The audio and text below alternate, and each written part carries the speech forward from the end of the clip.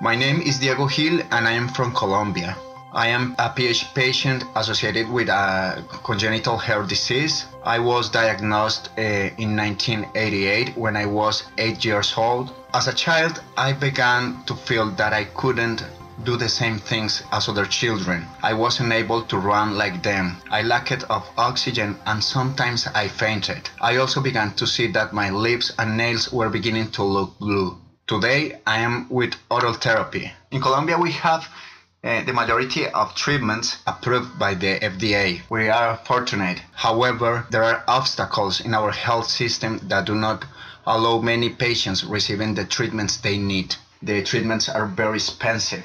I think awareness allows people to know more about pulmonary hypertension and help patients to be diagnosed much faster so they can obtain an appropriate treatment in time. I have always thought pulmonary hypertension patients should be the main voices of the disease. This is the reason I always share information about the disease with all the people I know, such as relatives, friends, and health professionals. I also share information on social media about the disease and different awareness campaigns. I am the president of Asociación Tejido Azul, which is the largest pulmonary hypertension patient organization in my country. We carry out workshops to guide patients and their families how to face the obstacles of our health system so they can access treatments timely. We establish contact with health institutions and government entities so that PH patients receive appropriate, timely, and dignified treatment. We are part of FECOER, which is the Rare Diseases Organization of Colombia.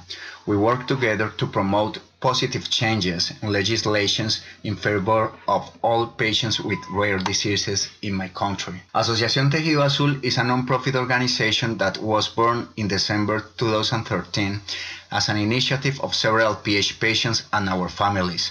Our purpose is to carry out activities that contribute to the well-being of Colombian PH community, such as education programs to raise awareness, support groups for patients and caregivers. We currently have support groups in the six main cities of my country. We also do communication campaigns to promote public awareness of the disease. Uh, we offer legal orientation in case of obstacles in access treatments. Um, and advocacy to promote positive changes in our health legislation. Our organization has planned several activities to commemorate World PH Day to bring awareness about the disease. We will have conferences with medical specialists in the main cities of the country and also throughout social media so that many people may join in our awareness purposes. If you are a newly diagnosed patient, always remember that you are not alone there are many people who are willing to support you. And finally, I want to say that pulmonary hypertension is a difficult battle. However, the strength of our community is much greater than the disease. My name is Diego Gil, and I'm aware that I'm rare.